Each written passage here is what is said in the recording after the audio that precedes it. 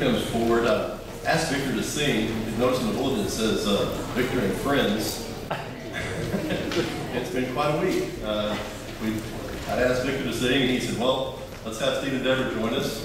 They're going to join us, and then brother had a heart attack, so they're gone.